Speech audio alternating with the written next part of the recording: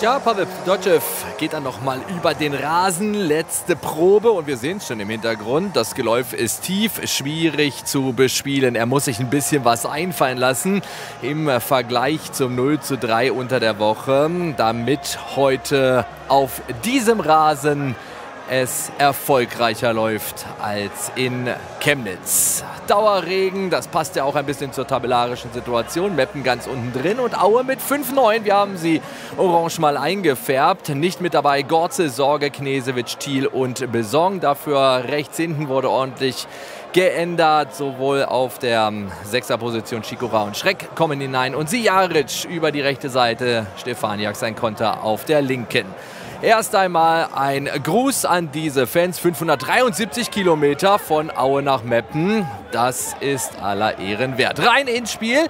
Und es sind gerade einmal drei Minuten gespielt. Sejaric, der neue Mann, direkt im Vorwärtsgang. Dort sucht Jonjic. Meppen kann sich befreien. Und Aue versucht früh drauf zu gehen. Das hat natürlich den Nachteil, dass es Lücken gibt in der Defensive. Fassbender nimmt den Kopf hoch aber klasse dann noch gerettet von Barilla, der den Ball zur Ecke klären kann. Gute Grätsche zur richtigen Zeit. Genießen Sie nochmal das Bild der weißen Leibchen. Das wird nämlich, wir haben die Platzverhältnisse gesehen, nicht mehr allzu lange so bleiben. Die anschließende Ecke, ein Fall für Ole Keuper, der zunächst nochmal ein bisschen aufräumen muss. Und dann kommt Fassbender fast an den Ball. Sprunggewaltig. Der hochaufgewachsene Rechtsaußenmann, der sehr viel Betrieb verursachte in den ersten Minuten. Aber hier ein Stückchen zu klein war. Fünf Minuten später, guter Pass von Stefaniak auf Sam Schreck, Schreck, 1-0 für Aue. Alles richtig gemacht nach fünf Minuten. Und Sam Schreck sorgt für die frühe Führung. Wir erinnern uns im Pokal, nach 28 Sekunden lag man zurück. Jetzt nach fünf Minuten in Front und da macht Schreck einfach mal alles richtig nach dem sehr, sehr guten Pass von Marvin Stefaniak. Hier sehen wir es noch einmal, genau in die Schnittstelle und dann das Kreuzen von Schreck. Natürlich darf die Verteidigung um Soares und Käuper dort nicht das Foul riskieren, sonst hätte es einen Elfmeter gegeben und so hat Schreck die freie Bahn und die Ruhe, den Ball vorbeizulegen an Domaschke zum 1 zu 0. Auftakt nach Maß. Wie reagiert der SV Meppen? Wieder mit einer Standardsituation, wieder mit dem aufräumenden Käuper. Dombrovka zurück zu Käuper. Flanke ins Zentrum und schon wieder liegt der Ball im Netz. Graulich lässt sich feiern. Und nach acht Minuten heißt es Ausgleich. 1-1. Tobias Graulich. Gestern hat er Geburtstag gefeiert, heute sich mit Saisontreffer Nummer 1 selbst belohnt. Gar nicht so gut zu erkennen, wann und wo er dran war. Aber hier sehen wir es im Zentrum mit dem Kopf. Ja, steckte ihn in die lange Ecke. Nicht zu parieren für Martin Menne. Alles wieder auf Anfang. Torschütze Sam Schreck. Nach einer Viertelstunde Nazarov, Außenverteidiger Rosenlöcher und dann über die Seite mit Stefaniak. Wieder zu Rosenlöcher und Antonio Janic. Netz zappelt, Ball aber fliegt vorbei. Domaschke wäre wohl auch im bedrohten Eck gewesen, aber wichtig für den FC Erzgebirge, dass sie direkt eine Reaktion zeigen nach dem Ausgleichstreffer, sich nicht verstecken, sondern selbst wieder die Initiative ergreifen. Meppen zuletzt ja auch schwach unterwegs in der Liga. Der letzte Sieg er resultiert aus dem Februar gegen 1860 München. Aber die Gastgeber Sie kommen etwas besser rein, drücken die Gäste aus dem Erzgebirge in die eigene Hälfte. Blacher ist das, raus zu Fassbender, wie gesagt umtriebig. Und dann Burger mit einer entscheidenden Grätsche, bevor der Ball richtig gefährlich durch den 5-Meter-Traum durchfliegen kann. Zunächst die Schussposition für Blacher zugestellt, aber dann Morgan Fassbender, der sich stark auf dem Flügel behaupten kann. Gut 20 Minuten rum. Sonne kommt mal raus. Und Ole Käuper wieder. Wen sucht er dieses Mal? Wieder die einlaufenden Defensivmänner. Fassbender macht den Ball nochmal scharf. Männel mit einer Faust. Und dann kann sich Aue rustikal befreien. Kein Wille, keine Leidenschaft, kein Support.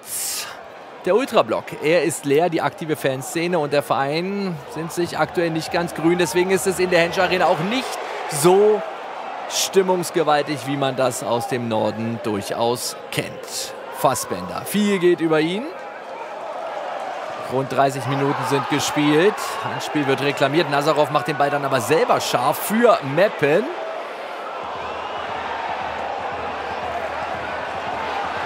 Wieder Fassbender. Und dann versucht es Poirier artistisch mit der Hacke. Szene abgebrochen, da auf Foulspiel entschieden. Aber wenn Poirier den Pass ins Zentrum mit der Hacke erwischt, dann wird es für Aue ja richtig gefährlich. Ernst Middendorf Seit wenigen Wochen erst an der Seitenlinie der Meppener, aber der Trainer des Jahrhunderts von Arminia Bielefeld hat noch nicht den gewünschten Erfolg mit nach Meppen bringen können. Bislang gab es noch keinen Sieg. Ein erstaunliches Remis gegen Elversberg, gegen den Tabellenersten. Ansonsten aber nur Pleiten. Deswegen steht Meppen ja auch ganz unten drin. Aber zum Ende des ersten Durchgangs, da machen sie nochmal Betrieb und holen sich einen Freistoß. Majeczak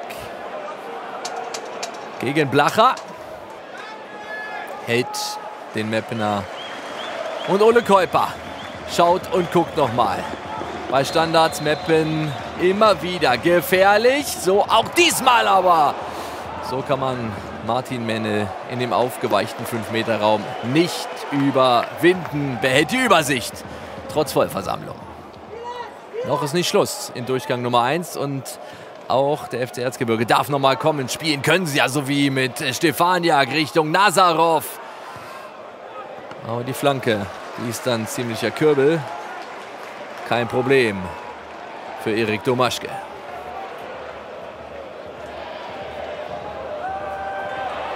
Nazarov hat wenig aus seinen Möglichkeiten gemacht. Vielleicht macht es auf der anderen Seite Fassbender ein bisschen besser. Fassbender, der sieht Dombrovka. Dombrovka ganz allein im 16-Meter-Raum. Max Dombrovka. Und da hat Aue Glück, dass bei Dombrovka ein bisschen zu viel Rücklage und nicht allzu glorreiche Platzverhältnisse dafür sorgen, dass der Ball recht schnell aus dem Bildausschnitt rausfliegt. Noch aber sind ein paar Sekunden auf der Uhr und die will Meppen gerne nutzen. Aue steht hinten drin. Jonjic, Sie sehen es, kreiselt dort auch kurz vor der Mittellinie als Offensivster. Jetzt allerdings können sie da nochmal ausschwärmen. Nazarov, links geht Stefaniak. No Look, geht rüber. Und da ist jetzt mal ein bisschen Platz. Marvin Stefaniak Richtung Jonjic. Aus acht Metern ärgert er sich natürlich, der Fünf-Tore-Mann, dass er diesen Ball nicht auf den Kasten bekommt. Und so versandet auch diese Aktion 60 Sekunden vor dem Seitenwechsel. Domaschke nochmal mit dem langen Holz. Der Schiedsrichter hat Spaß an der Partie. Und Aue versucht es zu nutzen. Meppen mit zögerlichem Anlaufverhalten. Aue mit viel Platz. Stefaniak. Jonic, 20 Meter, zweieinhalb drüber. Und dann schaut der Schiedsrichter auf die Uhr und denkt sich wohl auch, die Jungs, die sind ausgepumpt, die brauchen erstmal einen Pausentee. Dann pfeife ich eben zur Halbzeit. Der Applaus von den Rängen, 1 zu 1. Sehr, sehr unterhaltsame Anfangsminuten. Da mussten beide Keeper, auch Martin Mennel, einmal hinter sich greifen. Und dann wurde es etwas schwächer. Rein ins Durchgang Nummer 2. Und Aue zeigt direkt mal an, wo es lang gehen soll. Rosenlöcher dann aber mit einem ziemlich harten Einsteigen gegen Ole Käuper drüber gehalten. Schiedsrichter winkt das Personal, das medizinische zu sich und Ole Käuper muss nach dieser Aktion leider das Spielfeld verlassen. Hat sich nicht nur wehgetan, sondern auch verletzt. Hier sehen wir es. Dick bandagiert, wird vom Platz geleitet. Und für ihn kommt einer, den Sie möglicherweise kennen. In der Spielzeit 16-17 schnürte er die Stiefel für den FC Erzgebirge. Mirnis Pepic aus Montenegros Handballhochburg Podgorica. Jetzt auf dem Rasen. Aber zunächst einmal wieder der FC Erzgebirge mit einem Schüsschen von Marvin Stefaniak. Tunnelt dort Dombrovka, aber am Ende hat Erik Domaschke keine Probleme, den Ball zu parieren. Denn er war nicht nur getunnelt, sondern auch noch gebremst und flog dann recht zentral auf den Kasten. Auf der anderen Seite Majecak. Und es gibt eine Ecke für den SV Meppen. Janssen eingewechselt. Kann dort gerade noch so am Torschütz, Torschuss gehindert werden. Käuper nicht mehr mit dabei, für ihn Pepic auf dem Rasen und Pepic übernimmt dann auch die Standardsituationen. Fassbender und ein Aufschrei geht durch die Hensch Arena. Handspiel reklamiert von Erik Majczak. Schauen wir noch mal hin. Hier kann man es nur erahnen, dass irgendwo der Arm ja angewachsen ist. Kurze Distanz angelegt. Und auch wenn in diesen Zeiten man schon komische Pfiffe gehört hat, liegenübergreifend ist es vollkommen in Ordnung, dass man hier weiterspielen lässt. Nächste Ecke wieder Pepic. Und da sehen Sie mal die Verunsicherung im Strafraum der Erzgebirger. Majeczak vor Menne, kein Gegner weit und breit. Aber da stimmt dann die Abstimmung nicht mehr hundertprozentig. Menne hätte locker aufnehmen können. Majeczak geht, wenn man so möchte, auf Nummer sicher. Und klärt vor dem Schlussmann. Wann kommt mal wieder was von den Gästen? Wann kommt mal wieder was vom FC Erzgebirge? Stefaniak Richtung Jonic, Jonic, Tomaschke ist da, aber Siaric schiebt ein zum 2 zu 1 für Aue. Ein bisschen aus heiterem Himmel für die Mannschaft von Pavel Dotschew. Tomaschke am Boden interessiert die äh, Spieler zunächst einmal nicht. Die feiern ihren Torschützen Omar Sejaric, 21 Jahre jung, zweiter Saisontreffer. Er traf gegen Mannheim. Endstand genau 2 zu 1. Das wäre etwas, was sich die Fans sicherlich auch für heute wünschen würden. Dafür gilt es jetzt noch 25 Minuten zu verteidigen. Und bei Erik Domaschke wird es weitergehen nach dem Zusammenprall mit Antonio Jonic. Aber Yannick Ossé, der hat da nicht gut ausgesehen im Defensivverbund. Wie reagiert Meppen? Fassbender, Speeren stark und Marvin Poré, sieben Tore hat er schon. In seinen Glanzzeiten hätte er solch einen Kopfball sicherlich zielgerichteter auf den Kasten bekommen. So war es für Menne letztlich kein großes Problem. Gut zehn Minuten noch. Meppen versucht viel und kommt mit neuem Personal. Junior Kone eingewechselt. Ist ein kleiner Zocker, Übersteiger. Bei den Flanken muss er noch ein bisschen trainieren. Aber Fassbender setzt nach und hält den Ball im Spiel. Raus, hoch und weit. Klappt nicht so ganz. David Blacher Richtung Janssen. Pepic, Ausgleich! Aue bekommt den Ball nicht raus aus der Gefahrenzone und Mirnis Pepic, der Ex-Auer, schiebt ein zum 2 zu 2. Hatte lange mit Kniebeschwerden zuschauen müssen. Jetzt ist er wieder fit, wieder da und jetzt trifft er und zeigt auch direkt an. Auf geht's zur Mittellinie. Wir haben noch ein paar Minuten. Das 2-2 ist nicht genug. Aber das Abwehrverhalten des FC Erzgebirge Darüber wird zu reden sein, sicherlich in der Analyse. Man hätte im Vorfeld schon den Ball deutlicher klären müssen. Jetzt vielleicht mal im Ballbesitz. Nazarov bekommt dort aber keine Unterstützung. Und Meppen schiebt drauf. und holt sich den Ball. Gutes Pressingverhalten der Gastgeber. Blacher ist das. Vorteil laufen lassen. Pepic. Fassbender fast an jeder offensiven Aktion beteiligt. Doppelpass mit Pepic. Und der eingewechselte Jansen. Menne im bedrohten Eck, aber wir werden sehen, dass ein Auer Einwechselspieler geklärt hat für Schlussmann Menne, Nico Gotze. Meppen drauf und dran, das Spiel zu drehen.